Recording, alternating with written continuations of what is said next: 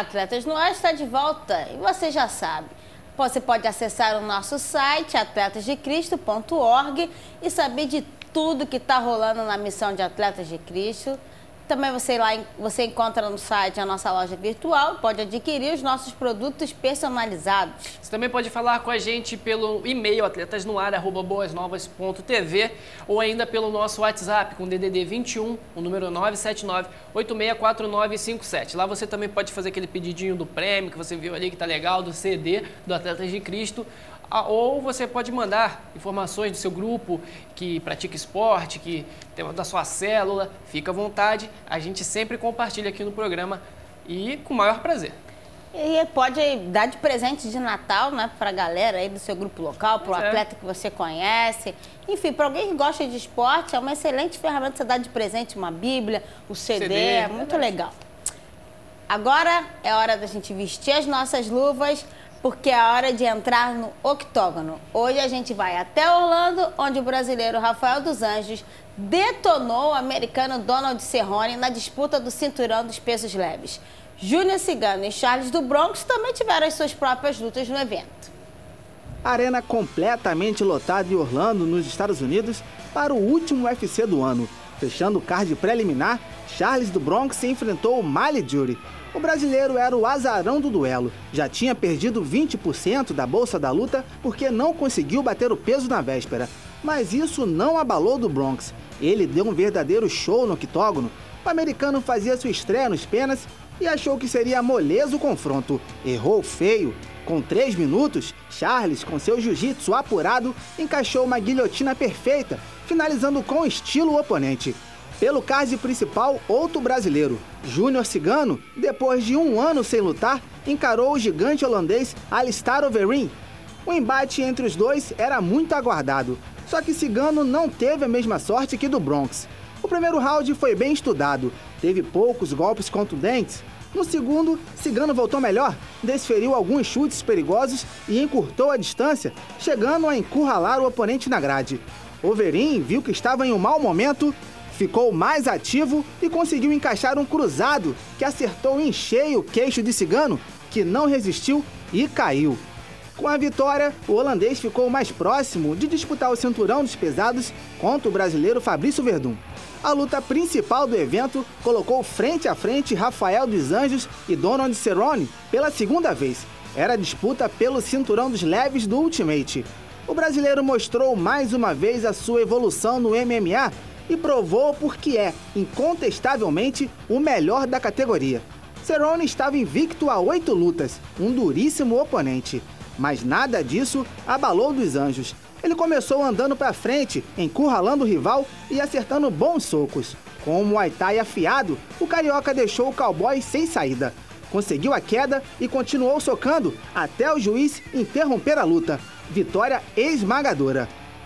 Rapaz, Cigano como sempre, sangrando muito, apanhando muito. Acho que agora acabou as possibilidades dele disputar a outra revanche lá com o Caio Velasquez. A situação dele complicou total. O nosso Rafael dos Santos, você viu, predestinado, arrebentou seu adversário, nosso querido cowboy, que eu acho que de cowboy não tem nada, perdeu o chapéu. Apanhou o Carioca muito, mandou benzão. Mandou muito é, bem, ainda bem, né? Ficou com o cinturão, a gente perdeu com o Zé Aldo. Agora a gente espera que o Brasil melhore na, nas categorias. Rafael dos Santos foi muito bem. Desafiou o McGregor que quis dar uma... Chamou pra luta. Puxou, puxou ele na cintura e falou assim, olha só, quero enfrentar o Rafael dos Santos para mudar de categoria. Ele falou, cara, se quiser vir, estou à disposição. Campeão mundial, lutando muito. E o McGregor vai ter que subir de peso, já vai ter outra dificuldade. Bom, Cigano, acabou Cigano agora, disputa de cinturão, perdeu para o Overeem. É, o que resta agora é torcer para nascer novos talentos nesse peso do cigano. Agora a gente vai mudar um pouquinho de assunto. A gente vai falar do primeiro judoca brasileiro a conquistar uma medalha de ouro dos Jogos Paralímpicos. Isso aconteceu há quase duas décadas. Hoje, aos 45 anos, Antônio Tenório acumula conquistas e só pensa em se aposentar dos tatames após os Jogos do Rio de 2016. Por isso, ele merece a nossa homenagem no momento olímpico de hoje.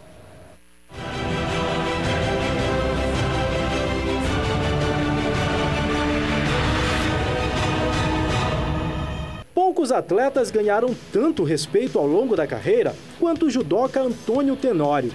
Esse cara teve a vida marcada pela tragédia. Mesmo assim, superou seus obstáculos e se tornou o maior nome do judô paralímpico brasileiro. Foi ele o nosso primeiro judoca a conquistar um ouro paralímpico, o que aconteceu em Atlanta em 1996. Nos jogos seguintes, Tenório faturaria mais três medalhas douradas, em Sydney 2000, Atenas 2004 e Pequim 2008. Em Londres, não conseguiu repetir o feito, mas não saiu de mãos abanando. Trouxe o bronze. Mas isso tudo são coisas recentes. Aos sete anos de idade, Antônio Tenório perdeu a visão do olho esquerdo após uma brincadeira de estilingue com sementes de mamona.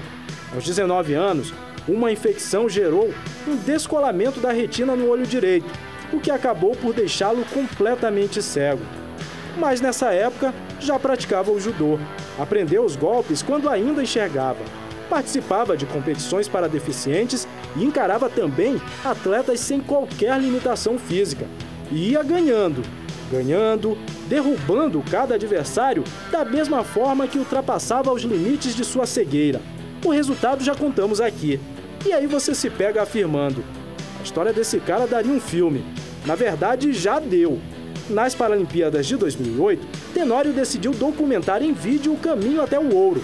A jornada deu origem ao filme B1 Tenório em Pequim, dirigido por Felipe Braga e Eduardo Hunter Moura, lançado em 2009 e premiado em festivais ao redor do mundo. B1 é a categoria em que o paulista compete.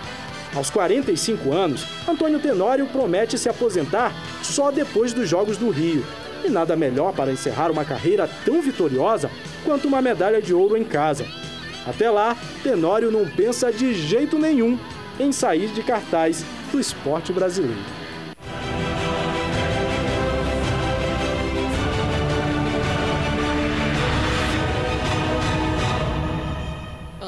Tenório, Uma o nosso momento olímpico. Grande inspiração, porque a história dele se inicia quando a, o, o, o esporte paralímpico ainda não tinha a, a representatividade que Sim. tem hoje. Então, ele é uma grande inspiração para todos os atletas que estão hoje, que vão competir no próximo ano. E a gente espera que essa medalha venha no ano que vem para coroar ainda mais essa carreira brilhante desse atleta paralímpico. É, são 45 anos e ele, assim, competindo em alto nível, conseguindo bons resultados.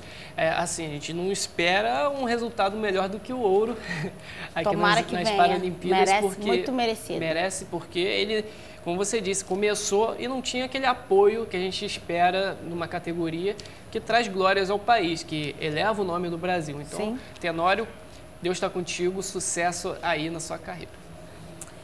O T-Rex é o grande campeão do torneio Touchdown, a principal competição nacional de futebol americano. Na final, o time de Santa Catarina derrotou o Vasco da Gama. Na final do torneio Touchdown 2015, o Vasco da Gama Patriotas, campeão de 2014, foi derrotado pelo Timbó Rex por 28 a 9 na tarde de sábado no estádio Doutor Ercílio Luz, em Itajaí, Santa Catarina. A partida, acompanhada por cerca de 2 mil torcedores, foi disputada sob forte chuva. O T-Rex terminou o primeiro quarto vencendo por 6 a 0, o segundo quarto por 14 a 3 e o terceiro por 20 a 9.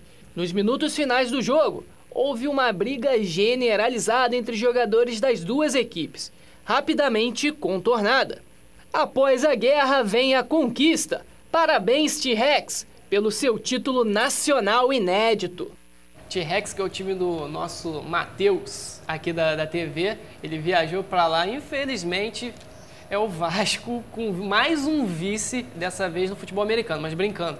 Ano passado o Vasco foi campeão, acho que até em cima do mesmo T-Rex. É, foi o primeiro título do T-Rex, esse ano eles vieram mais forte e compensaram. Mas o Vasco está despontando aí como uma das melhores equipes do país. O legal é ver esse né? esporte crescendo cada vez mais no Brasil, é, né? Teve show e tudo no intervalo, ao estilo Super Bowl dos Estados Unidos. Foi bem legal o evento. Realmente, é sempre bom ter um esporte crescendo no Brasil, porque acaba gerando mais opções para uma, um jovem que ele quer aprender algum esporte. Com certeza. É, o campeonato é durante o ano inteiro, é disputado durante o ano inteiro, são jogos disputadíssimos. Tem alguns clubes grandes, mas tem outros que eles são apoiados pelas prefeituras.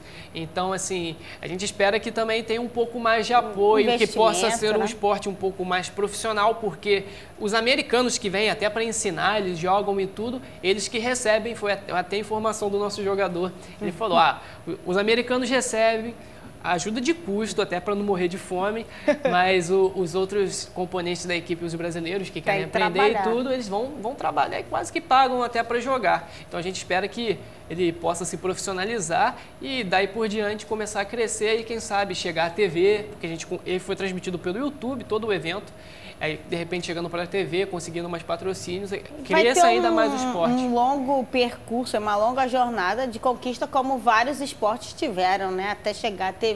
Verdade. A gente vai falar aqui hoje, o próprio handball, que não era transmitido, né? Tivemos esse primeiro campeonato transmitido pela TV. Então, é uma jornada que esse esporte ainda vai correr atrás. É verdade. É um esporte que tem tudo para crescer, tem assim o melhor exemplo para ser seguido que são os americanos. Então a gente, realmente a gente espera que ele consiga atrair mais olhares do público.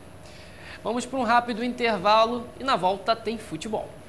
O Barcelona faturou seu terceiro título mundial de clubes, batendo River Plate. A gente volta já já.